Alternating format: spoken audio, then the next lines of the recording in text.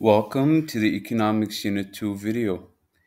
In this video, we will be discussing our second topic that has to do with free enterprise systems, with centrally planned systems, as well as the advantages, disadvantages, overview, and descriptions of major economic systems in the world today and in the past. So let's begin by looking at the unit assessment objectives.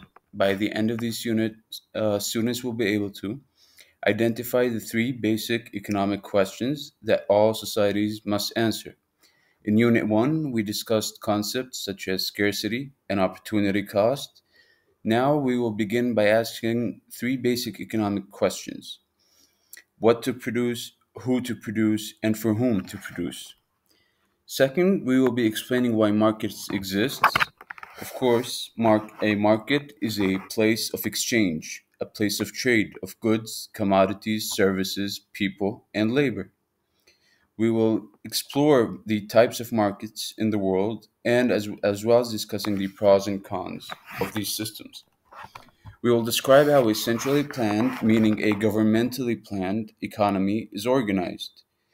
Um, in most parts of the world, uh, the market system is prevalent, but in the past, such as if you may have read in World History 2 and World History 1, as well as Geography, the Soviet Union is one example of a centrally planned economy, where a few people are in charge and over and are in charge of oversight for the entire nation.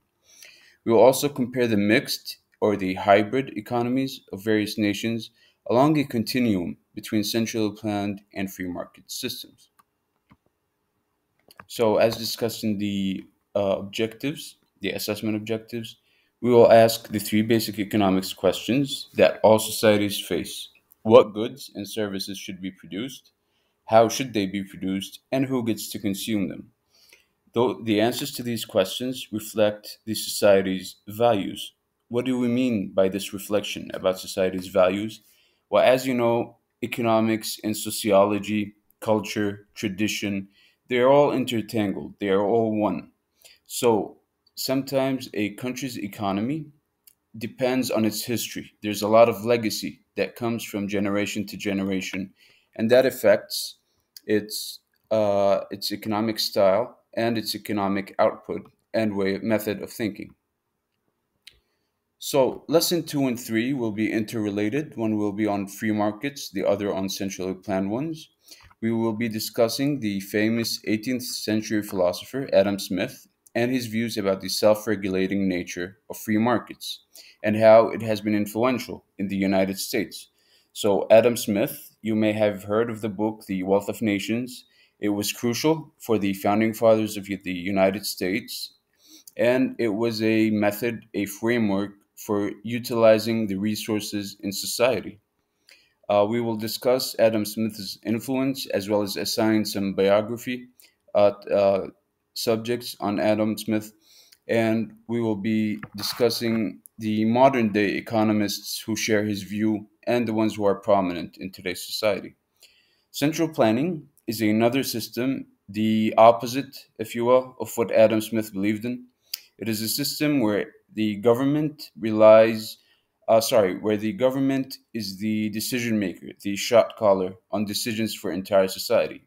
So a government comes into place and it decides, well, for this year, we want more labor in this segment of the economy. We want to manufacture this pro- this product. Uh, we want to focus on some particular areas. Education, let's say, for instance, we will decide on the curriculum and it's in a way an oligarchy type of rule as well. You may have heard of the olig of oligopoly, where a few players run an entire system. Central planning, when it comes to government, is a little similar to that. Okay, so moving on, we will be talking about the mixed economies. Uh, probably no nation in the world today has a strictly free or a strictly central type of economy, there is a mix, there is a compromise in every country in terms of the economies we see. So, uh, in those, I, we want to just hammer in these concepts as just that, as concept. what it means to be a completely free enterprise, and what it means to be a completely central enterprise. But societies, in fact, include at least some mixing of these two. So, moving on to lesson five.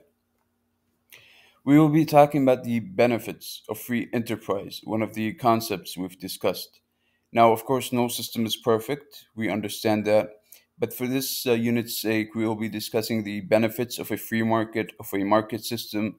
When we say there's self regulation, that means the populace is more involved, the general population is more engaged in the decision making of businesses and of the future of the country and its economy. We will be discussing economic freedom and its role historically in the United States as well. Finally, the last two lessons, six and seven, we will be talking about the proper role of government in the economy. It is a hotly debated topic. Open any news channel, say CNN, NBC, Fox, and you will find economic debates going on all the time about the role of government in our everyday life and its influence on the economy. So we want to understand each point of view. So we don't want to make caricatures out of um, capitalism, socialism, or whatever uh, systems that are, um, you know, these hot words and the hot takes that we see on the news. We don't want to characterize them in a certain way. We don't want to be prejudiced. What we want to do is refine these concepts, see what they mean. What does it mean uh, that free markets provide solutions to economics questions, but we know nothing's perfect. So, how can the government help? How can the government and market work in unison to produce the best possible outcome for people and for future generations as well? So, I hope this unit video has been clear. I hope it has been enriching. I hope it gave you a little idea about what to expect. And of course, we will be delving into details every day in class, so we make sure that you have a strong grasp of these concepts and their consequences. Thank you.